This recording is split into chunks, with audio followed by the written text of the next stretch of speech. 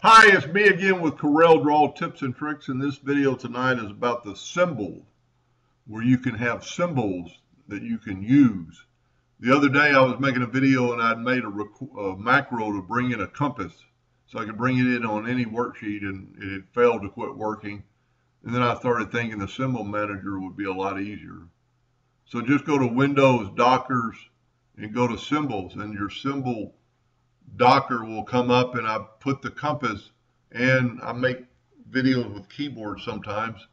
So just take and drag the compass out. Then you need to revert it to an object and then it's good to go. But I, I draw a lot of maps and I need that compass. I don't have to go import it. You know, here's my keyboard strokes. When I make a video and I can uh, edit them, change them in, delete them. So I thought I'd go ahead and show you how to add one. Just open your symbols manager. This is an Aztec calendar that I don't need in my symbols, but it is pretty cool. And so I'm just going to take it and I'm just going to drag it over to my symbols and I get a plus sign. And there it is, it's symbol three. Now I can name it by,